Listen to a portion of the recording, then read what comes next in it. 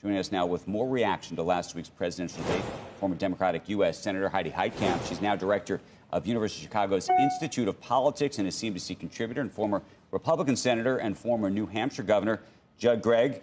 Good morning to both of you. Uh, Heidi Heitkamp, it was nice to see you in Aspen last week, but I want to ask you what you thought of the debate and, more importantly, what you think happens next.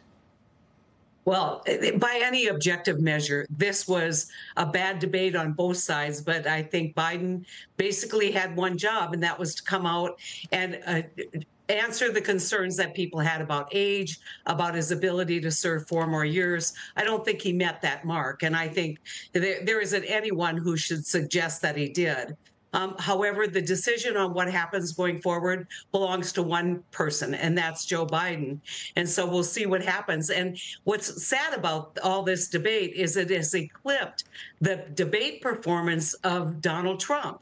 Donald Trump was calm, which I didn't expect, but he also was not very clear in terms of what he believed and where he was headed. Right. And I think what the American public saw, Andrew, was two candidates that they had an opinion about beforehand saying, I don't like either one of them. Right. None Heidi, of this that, that might be like true, but and before I get to Judd, clearly, I think anybody who was watching that performance, uh, it was almost sad to see uh, somebody uh, at that age not be able to perform um, the way you would imagine. And then some of the reporting over the weekend, uh, we just talked to the author of one of the stories, uh, suggesting that lots of people inside the White House have known, uh, in fact, how, how bad it has been, and that perhaps we've all been gaslit over the past several years as people have asked, questions about age. Um, do you sense a, a shift in terms of how donors are going to behave and what kind of pressure points there will or won't be on the president to, to potentially step away and find a new nominee?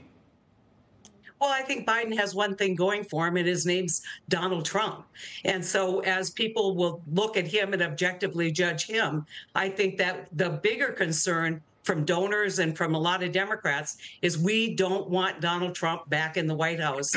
And so if Biden decides to stay in this, there will be a huge rallying around Biden and, and we'll go forward. But but I think it's really up to Joe Biden to, to take a look right. at that debate performance right. and say, can I make it four more years and hey, can I win this election objectively? Hey, Judd, two questions for you. One is you, you've known Joe Biden for a very long time. Uh, what did you think? And two, you were never, I don't think, somebody who was particularly in love uh, with former President Trump. If, in fact, uh, a new right. nominee were to emerge on the Democratic Party side, could you imagine yourself voting for them? Well, on your first question, I did serve with him for 18 years. I liked him. He's a decent individual, but he's not the not the Joe Biden I served with. He, was, he, he, he projects himself now. He is, unfortunately, feeble, both physically and mentally, it appears and he, he's going to get feebler. I mean, he's going to be 83, 84, 85, and 86 in his next if he were reelected. And you can't have a president uh, like that.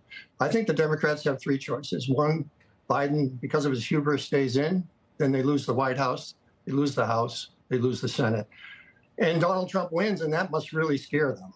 Uh, their second choice is he steps aside and he picks somebody substantive, and they maybe keep the presidency and uh, win the House and maybe even keep the Senate. Or a third path, which I don't think many people have talked about, is he replaces his vice president. Uh, and Franklin Roosevelt did this a lot. Uh, and we got Harry Truman as a result of it, one of the best presidents of the 20th century. Uh, and he brings in somebody who's substantive as vice president, so people are a little more comfortable with voting for him because they presume he's not going to serve out his term.